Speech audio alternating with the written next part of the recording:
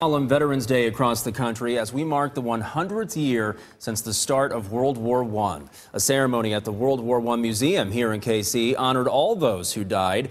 Some in Congress want to make sure the museum becomes the nation's official World War I memorial. Lexi Sutter is live at the museum tonight with a look at where we stand on getting that important designation. Lexi?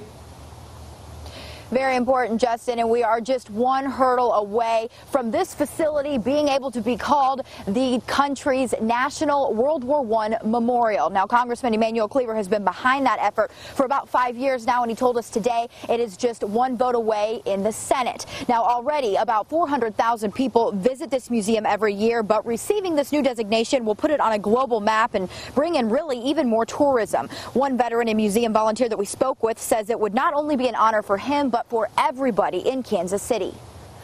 Makes me feel terrific. I, you know, this is, I, I have loved the Liberty Memorial as long as I can remember. Uh, uh, and especially since they've built this museum here, which is really a world-class museum, nothing like it in this country.